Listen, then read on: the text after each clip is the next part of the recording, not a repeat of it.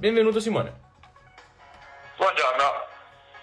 Allora Simone, quello che stavo dicendo un po' ai nostri ascoltatori è che sei un personal trainer, quindi direi di partire dalla base del raccontaci un pochettino la tua storia da istruttore. Allora, tutto come allora parto diciamo da quella che è l'origine dallo sport, da, da ciò che è nato, parliamo così. Ok, sì sì, va bene. Allora, tutto cominciò con eh, una banale storia. Io semplicemente avevo, diciamo, delle energie represse. La notte grignavo i denti e mi sentivo abbastanza nervoso, quindi cosa è successo? Eh, il, il, dentista e i medici hanno consigliato ai miei genitori guardate tuo figlio deve assolutamente fare sport perché ha bisogno di sfogarsi.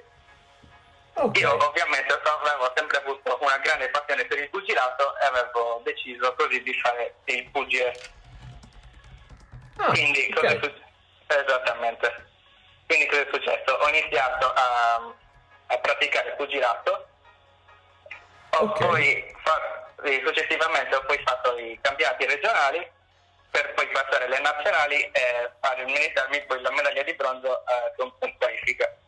E cosa è successo? Naturalmente avendo avuto poi dei problemi al tetto nasale dovuti dal pugilato, ho dovuto ho fatto la scelta diciamo di operare al naso eh, però dovendo fare appunto questa operazione non potevo continuare. Quindi la scelta cosa è stata? Appunto quella di andare a curare la mia forma fisica.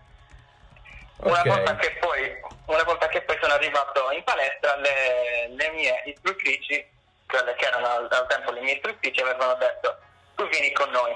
Io non sapevo appunto neanche di cosa parlassero e invece si trattava proprio di andare, a, andare con loro a fare delle gare di bodybuilding, quindi prepararmi per fare questo, perché avevano notato delle doti nell'esecuzione, nella cura dell'esecuzione e quant'altro.